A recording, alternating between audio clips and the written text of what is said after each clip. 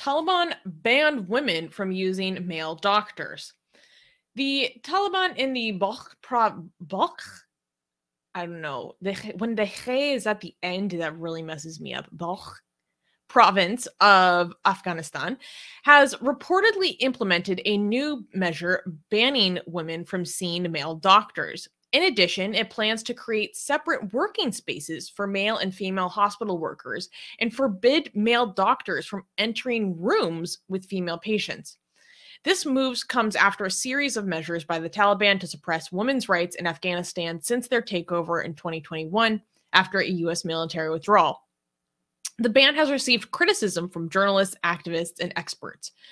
Sahar Fetrat of Human Rights Watch, an expert on women's rights issues and a native of Afghanistan, said that while her organization has not yet confirmed these reports, quote, it doesn't seem impossible given the Taliban's continuous infringement on women's rights and restriction of women's access to basic rights and facilities. Last November, the Taliban said that they seek to train more female doctors as part of a broader plan to increase gender segregation in the country. However, this reported effort of the regime contradicts its well documented efforts to eliminate secondary education for Afghan women. So, just to be clear, um, this is news coming out of one specific province, um, not the entirety of, of Afghanistan, but it's still obviously extremely deeply concerning given that like i said when they have these supposed plans to make sure that there are female doctors so that they can maintain gender segregation essentially.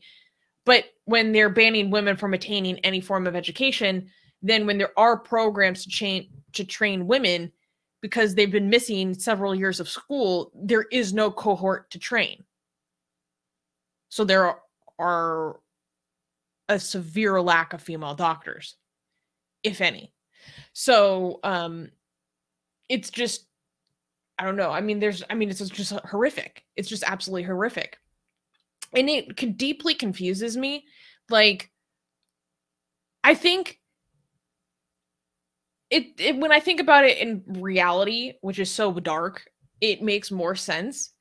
And the reality is because I was thinking like, well, these Talibs, like, they're gonna have women in their life that get sick like they're going to have their wives who start to miscarry and or need to, you know, have healthy pregnancies if they for the sake of if the only thing they freaking care about is these children pumping out babies. Like you have an interest in women having access to doctors for the sake of your own freaking, you know, male heirs that you want, like that kind of thing. Even if it's completely selfish interest, right? You still have an interest in women's health for your own you know agenda.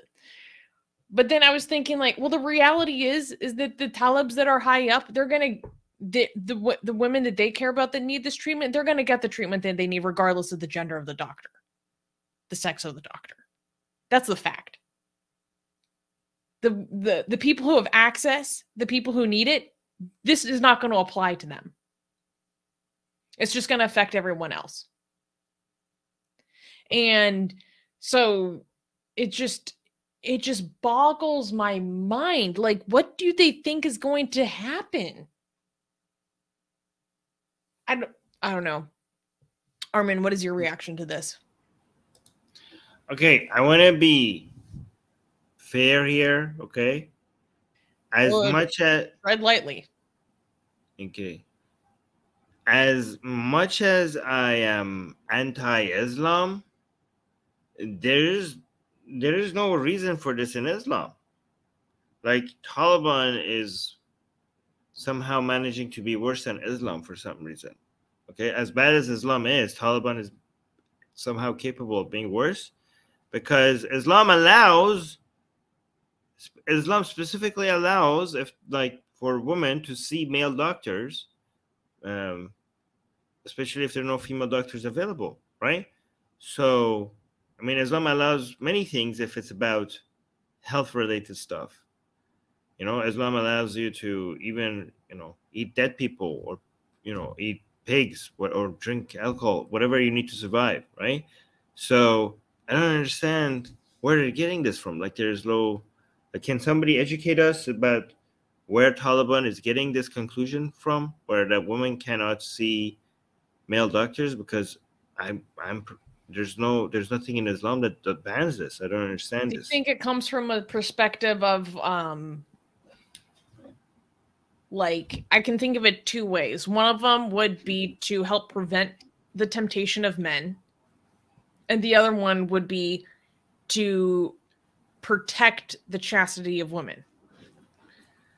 kind of opposite sides of the same coin. And of course, these are the purported reasons, right? I don't think that they're these actual reasons. Like the reason why they're closing down women's universities is because of lack of a hijab. Like that's why, quote unquote. They have other motivations, much more pressing in the political realities that fuel those decisions. Right? I know, but this This- doesn't serve any of those purposes. Yeah. Do you think that this is fueling some of the political necessities that they're facing? Like Why? trying to because you know they're having issues with ISIS K, right? And losing I know, but like, why? Why would you lose membership over this? Like, your members are like, Taliban members are like, oh, do something that even Islam is not asking us to do. You know, like, why would that be a demand? Maybe they, maybe they just like their member, like maybe just they don't know Islam and they just like, yeah, segregation all the way. Why not? I mean, Like, there's a lot of reasons to believe that, but like, I mean, Um, like, yeah, that sounds that sounds Islamic enough to me. I don't know. Like you just, yeah, yeah, I don't know. I don't know. well, maybe it's from Um, a sense of like our members are freaking out because they no longer have a war to die for and become a freaking martyr. And ISIS K is telling me that these Talibs are kafirs. So the Taliban is like, oh, okay, let's just show that we're actually super hardline.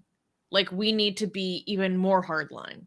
We need, like, it's not even Islamic. We just need to go, like, somehow super hardcore to prove that we are hardcore enough to run this country. Yeah, maybe. Yeah, that's That's the only thing I can think of, besides just like abject cruelty. Women are so many women are gonna die because of this. It's so messed up. I can't even imagine what the like the like mortality rate after childbirth is already versus what it's going to be after this. Women are going to be dying of sepsis left, right, and center. Like it makes me so upset. And you see these videos of girls in Afghanistan just sobbing, and they say, like, literally, this one girl is crying. She's like, What crime did I commit to be born a woman? Hmm. It's just so tragic. I don't even. All right. I need to highlight. Yeah, go ahead. Dr. Hypnos is saying, I think it's because of the hadith that says a man and a woman can't be in the same room. Well, okay, but we're saying that there are exceptions to this. Islam allows for exceptions, especially this, like, you know, when it comes to um, life and death and health related stuff, there's exceptions, okay? That is Islamic teaching. Also, this is amazing. Uh, Sorgo is saying, Armin sounds like an uh, like Islamic apologist, okay? Okay. Yeah. You are you guys are so dogmatic when it comes to your anti-islam views that when you're trying to be fair and in your criticism of islam you guys see that as islamic apologism right? I have dedicated so much content into fighting islamic belief. So just because i'm not dogmatically just um, one directional when it comes to my criticism and i don't uh, criticize islam based on what is real you know, rather than just being anti everything, even being so divorced from reality that I cannot be fair to what what what I'm actually criticizing, what what, what reality is, rather than what I, the picture I have created in my mind. So, if that's if you see that as Islamic apologism, that shows that how much um how simple-minded you are and how dogmatic you are in your fight against like these kind It's of not apologism to be like, I'm actually very educated on this ideology, and this isn't actually part of this ideology. All right, so Sergey is saying joking, joking. Armin probably right. Okay, okay. All right, guys. How can I like look at the comment? Okay, like if how could you tell that this is a joke? Okay, maybe put like uh, uh, you know emoticon with a tongue out or a slash s or a jk at the end of it. Like do you guys understand that a comment like this there's no way for us when we're reading like a comment to know if this is serious or not? So i'm going to treat them as serious unless you guys need to clarify that this is not serious. Like what am i supposed to do with it right? Okay. But that was good What can you anyways yeah yeah um no but it's good anyways because i we we responded to that kind of um yeah exactly thank you so much um so Because I, I just mimic the trolls who accuse Armin of being an apologist. Well, you do an effective job. yes, yes. Get my best selling book, Why There Is No God, for free. Click on the link for it in the description.